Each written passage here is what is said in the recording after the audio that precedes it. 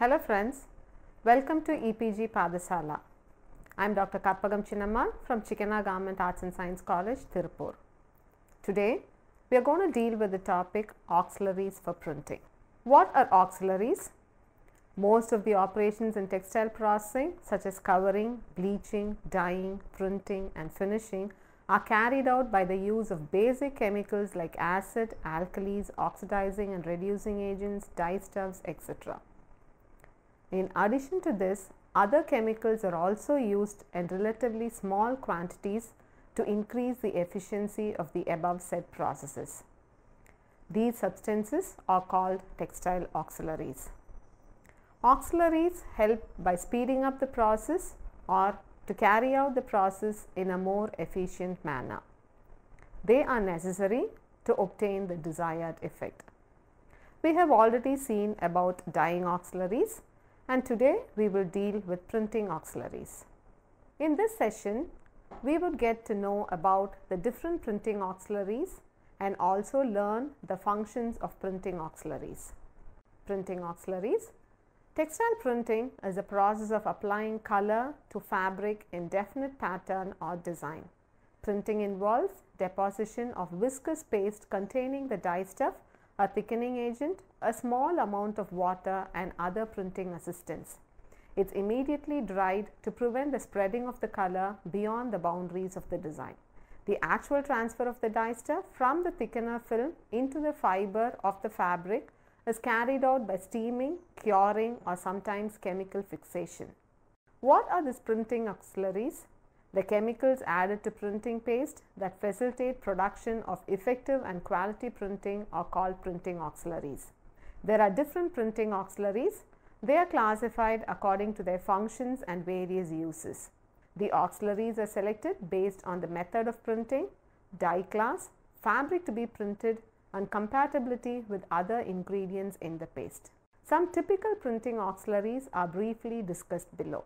Let us deal with each auxiliary in detail. First is dye stuff and pigments. According to the fabric content that is natural or synthetic, fastness property required for the printed fabric, dyes are selected from, from different classes of dye that is acid, basic, cationic, direct, disperse, reactive, sulfur, VAT, etc. For example, reactive for cotton, disperse, disperse for polyester and acid for wool and silk. Then there are pigments which can be applied to any fiber. Dyes are used in printing for two purposes. One, to color the printed area that is direct style and secondly, to color the ground fabric and then to print with discharging agents that is discharging style. In discharging style, the dye used for dyeing the ground material should be easily dischargeable. Next is binders or fixtures. In pigment printing, insoluble pigments which have no affinity for fibers have to be fixed onto the fiber with binders. Binders are polymeric film which holds a pigment on one hand and the textile substrate on the other.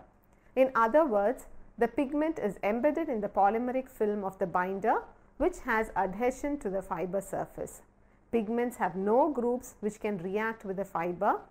Fastness property of the pigment print therefore depends on the forces of adhesion between the fiber surface and the binder.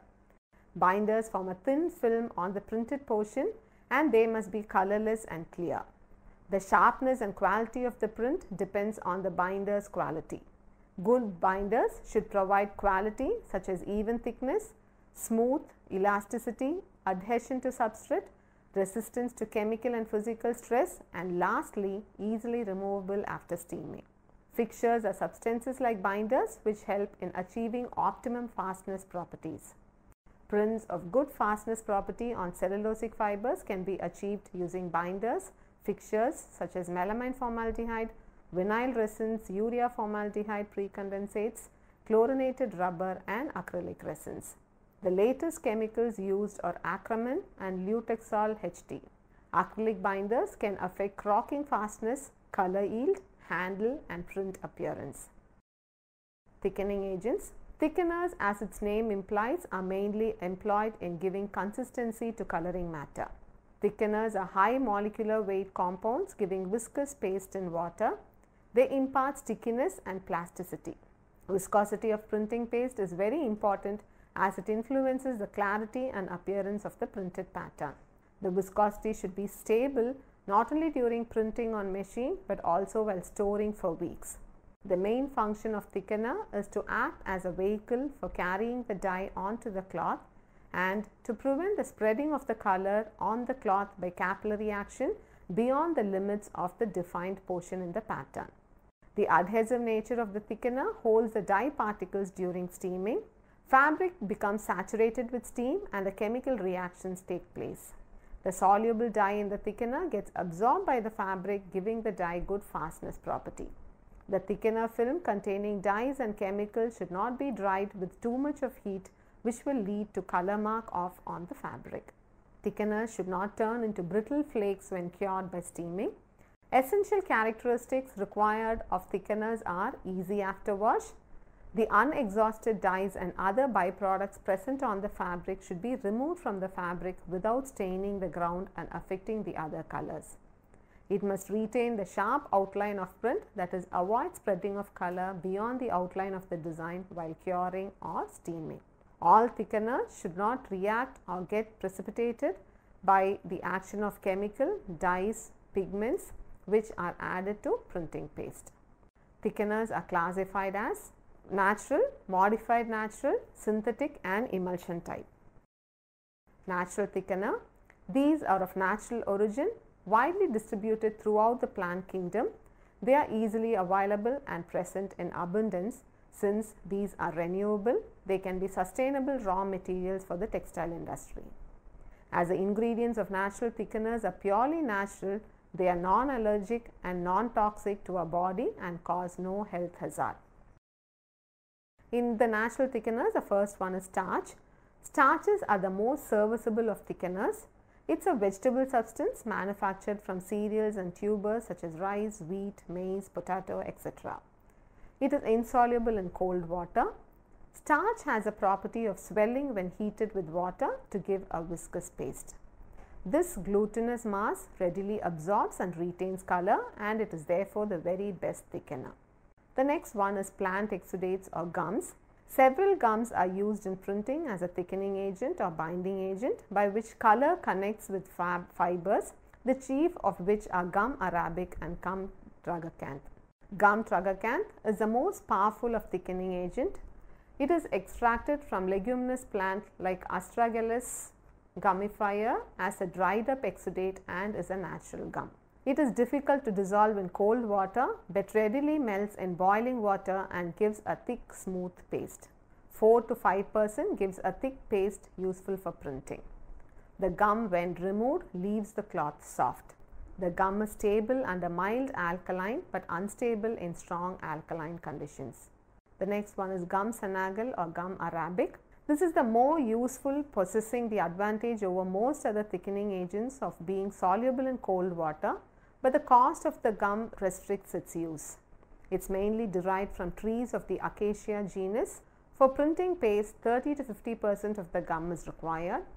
The gum is stable in strongly alkaline and strongly acidic condition. It's commonly used in block and screen printing. The third one is the roots and seeds. Under that guar gum. This gum is cheaper than gum tragacanth and is obtained from the seed of the guar plant. It forms viscous colloidal solution when hydrated in cold water. It gives maximum viscosity at low temperatures that is 25 to 40 degree centigrade it's compatible with dyes and chemicals.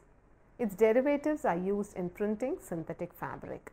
The next is locust bean gum. Gum guayabo, it is derived from the seeds of locust bean of the carob tree. Seaweed, among that sodium alginate, it is sodium salt of alginic acid which is found in seaweeds. Small amount of sodium alginate is required in the printing paste. It solubilizes in cold as well as in hot water, has good wettability, so absorption of dye by fiber is excellent. It's used with most of the dyes and gives best results with reactive dyes. It can be washed easily from the fabric and leaves the fabric soft. The next type is a modified natural thickeners. Under that the first one is starch derivatives, dextrin or British gum. It is degradation product of starch made by heating it with mineral acid such as nitric acid or roasting at 160 degrees centigrade till it becomes soluble in water completely. For 100 parts of printing paste, 20 to 50 parts dextrin is used. The second one is cellulose derivatives. Cellulose which is normally very insoluble in water by chemical modification produce valuable thickeners. The first one is methyl cellulose. Methyl cellulose ether is obtained from wood pulp or cotton linters. Ether is insoluble in the presence of alkali and boiling water but soluble in cold water. Its consistency is retained during storage. The next one is sodium carboxymethyl cellulose commonly called as CMC. It's obtained by reacting monochloroacetic acid and cellulose. The thickener is stable to alkali and so can be used for printing with vat dyes. It can be easily washed from fabric. Gum derivatives. Indalca microgram is a modified guar gum which is resistant to acids and alkalis. The next is the synthetic thickeners. Synthetic thickening agents are molecular substances, generally copolymers of unsaturated organic acids such as acrylic and maleic anhydride. They have the following properties high degree of purity, rapid preparation of stock thickening, simple printing recipe, good running properties, optimum depth of shade and brilliance of prints and excellent stability. Synthetic thickeners have the ability to produce prints with better smoothness, levelness and sharpness as compared to natural and modified thickeners and are suitable for photographic and multicolor prints. They are used as a substitute for emulsion thickening in pigment printing. Synthetic acrylic based polymers are grouped into two classes alkali swellable or soluble emulsion hydrophobically modified alkali swellable emulsions. Emulsion thickener Emulsion thickening derives its viscosity from a dispersion of tiny droplets of one liquid in another with a dispersing agent. The two liquids must not mix or be soluble. With development of pigment colors, emulsion came into existence. And emulsions are also employed for dyes. Emulsions are available in dispersed phase and dispersing medium. For printing textile material, oil and water type of emulsion is popularly used Widely accepted is kerosene based emulsion. Alkyl phenol ethylene oxide condensates are also used. Choice of a thickener will depend upon the class of dye to be printed and the style of printing.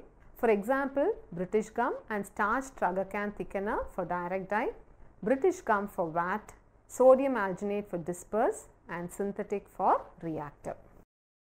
Wetting agents Wetting agent is used to obtain a smooth paste of the dye stuff without formation of any lumps which if allowed to remain get deposited on the cloth during printing producing dark spots. It is used to dissolve the dye powder. It is not required in case of water soluble dyes. In case of insoluble dyes like naphthol and vat, wetting agents are used to facilitate wetting of the dyes and its subsequent dissolution. Turkey red oil, monopole soap, Castellan oil are few examples of wetting agent. Turkey red oil is a commonly used agent. The next auxiliary is acids. The acids are used when acidic condition is required during steaming or curing to fix the color on the fabric. The acids are not required while printing but required during the steaming so such acids which liberate during steaming should be used. The acids are required for the development of some class of dye and also to activate oxidizing agent during steaming or curing. For this purpose, two types of acid liberating agents are used. Firstly, organic and inorganic salts of ammonium salts such as oxalate, chloride, ammonium acetate, sulfate, nitrate, phosphate, etc. Ammonium chloride and diammonium hydrogen phosphate are examples. Secondly, Esters of organic acid such as diethyl tartarate which on heating splits into tartaric acid and ethyl alcohol. Tartaric acid will produce required amount of acidity. To prepare printing paste with reactive dye, free acids can be added such as formic, acetic, glycolic, tartaric, lactic and citric acids. Next auxiliary is alkalis. Alkalis like sodium carbonate, sodium bicarbonate and sodium silicate are necessary for fixing reactive colors in printing. While preparing printing paste, If strong alkalis are required, then sodium hydroxide and potassium hydroxide are preferred. For mild alkalis, sodium silicate, sodium and potassium carbonate, trisodium phosphate, triethanolamine, disodium phosphate, trisodium phosphate, ammonium hydroxide etc. can be used.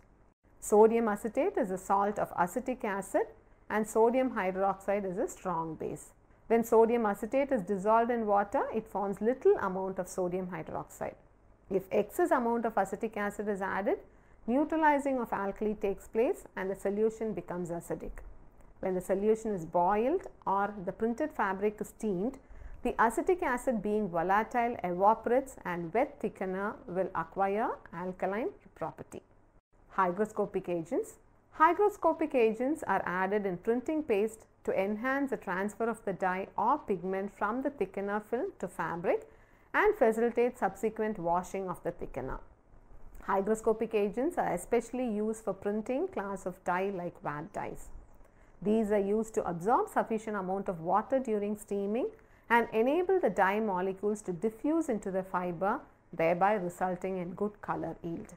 Commonly used hygroscopic agents are glycerin, urea, sodium lactate, diethylene glycol, a 40 to 60 mixture of urea and formamide. Oxidizing agent to develop final color during steaming or in developing dye baths in case of solubilized vat, dyes and aniline black, oxidizing agents are required to be added. Some of the oxidizing agents are chlorates, nitrates, nitrites and potassium ferrocyanide. The oxidizing agent should be inactive at room temperature that is 25 to 30 degrees centigrade. Oxidizing agents like sodium chlorate, potassium chlorate etc. do not act in neutral or alkaline solution so they are added with volatile base ammonia. The paste also contains acid liberating agents such as ammonium chloride, ammonium phosphate etc. While steaming at 100 degrees centigrade, ammonia volatilizes and ammonium salt decomposes into acid and ammonia. Ammonia escapes leaving behind acid, achieves chlorate at high temperatures and create oxidizing condition and color gets developed. Reducing agent in discharge printing, reducing agents are used as discharging agents to chemically destruct the dye and create a white pattern on a colored background. The liberated hydrogen obtained by the decomposition of discharging agent during steaming process causes the decomposition of dischargeable dye into colorless water soluble products which are removed in subsequent washing off process after printing producing white effect on dyed fabric. The reducing agents such as Rongalite C, thiourea dioxide are helpful as reducing agents for discharge style printing. Formaldehyde sulfoxylate is one of the most powerful discharging agent. However, it is toxic and produces formaldehyde. Sodium borohydride has also been tried as an alternative. Zinc sulfoxylate formaldehyde is slightly soluble in water. This is used to discharge printing of polyester and is mainly suited for dispersed dye printing paste. For this purpose, stannous chloride, stannous acetate is also used. For vat printing, sodium hydrosulfite is used. Defoamers or anti-foaming agents. In case of roller printing, the use of a wetting agent in the printing paste coupled with continuous agitation of the paste in the color box during printing produces foam which leads to defects in printing like lighter shade. So, to avoid faulty printing, defoaming agents are used. Defoamers such as silicon, de silicon defoamers, octyl alcohol, turpentine, emulsifiable hydrocarbons etc. can be used. Silicolabs and Perminal HPI are commercial products. Carriers The carriers are organic compounds used for dyeing polyester because they increase the rate of dyeing. By incorporating carriers, deep shades can be achieved in polyester at 100 degree centigrade. Without carriers, the deep shades cannot be obtained. Carriers cause swelling of the fiber and allow big molecules to diffuse faster into the fiber. Some of the carriers used are methyl salicylate or phenylphenol, monochloro or phenylphenol, diphenyl p phenylphenol and butyl benzoate. Solvents and dispersing agents. After an extent, water soluble compounds are not soluble in water. At a particular concentration compounds are soluble and further addition of compound does not dissolve in water, it settles down in the bottom. This is known as saturated solution compound in water. If temperature is raised, the water dissolves some more compounds and solution is saturated at low temperatures. At each temperature, there is saturation or solubility compound above which solution cannot dissolve. To increase the solubility of dye, certain solvents and solution are added. In printing paste, only a limited amount of water has to be used in which dyes reach saturation. In such cases, certain solvents are used to increase the solubility of the dyes and prevent agglomeration of the dye stuff in the highly concentrated paste. Acetone diethylene glycol, thiodiethylene glycol etc. are commonly used solvents. After washing agents, the printed fabric after steaming has to be washed with soap solution. Washing with the soap solution makes the fabric soft that is soap will remove the thickener. It helps to achieve true color for some dyes. The miscellaneous auxiliaries are mordants. The mordants are used on cotton to print with basic dyes because basic dyes and cotton do not have affinity for each other. But mordants have affinity for both the fiber and the dye. The commonly used mordant is tannic acid as cotton readily absorbs this acid and colors are also attracted to it. Leucotrope W, dimethyl phenyl benzyl ammonium chloride is used for discharging printing of vat dye. It forms a complex with leuco vat dye. It does not get oxidized when the oxidation of the vat dye takes place, so it can be easily washed and discharge can be obtained. Mild oxidants, ludigol or resist salt are used as mild oxidants on direct dye in ground fabric printing with vat discharge. This substance saves the unprinted ground fabric from damage while steaming. Usually, the ludigol is used in the direct dye liquor. Sequestering agents are intended for blocking the activities of metallic ions present in the printing paste. Its recommended amount is 0.5 percent on weight of the paste. Example, sodium hexametaphosphate.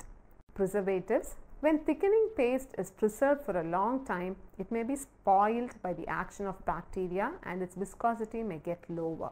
So, preservatives like salicylic acid, phenol, cresol, sodium benzoate etc. can be used to prevent this. So, now that we have dealt with textile printing, let us just summarize it. Textile printing is the most versatile and the common method used for decorating of any textile fabric. The technology of printing along with dyeing has been the mainstay of textiles. In this module, we got an insight into the printing auxiliaries and their role in printing. Textile, auxiliaries play a vital role in the final outcome of a good quality printed product. Hope you enjoyed the session and bye for now.